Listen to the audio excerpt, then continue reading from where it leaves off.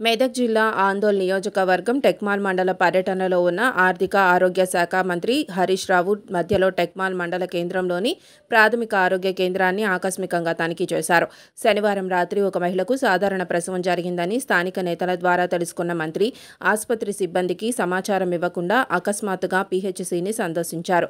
తల్లి బిడ్డ ఆరోగ్య పరిస్థితిని అడిగి తెలుసుకున్నారు. ఇతర పేషెంట్లను పలకరించారు. ఆసుపత్రిలో అందుతున్న సేవల పట్ల ఆరా తీశారు. ఆసుపత్రి పరిసరాలను సేవలను పరిశీలించారు.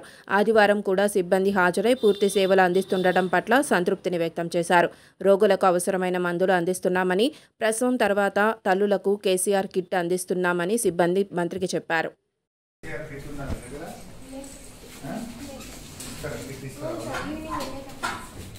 మందులన్నీ ఇక్కడ ఇచ్చిందా? బయట ఇక్కడ ఇచ్చాను సార్ అమ్మా ఇక్కడ ఇచ్చాను సార్ అన్ని ఇక్కడే ఇచ్చిందా బయట అయితే పంపించలేదు అన్ని మందులు ఉన్నాయా?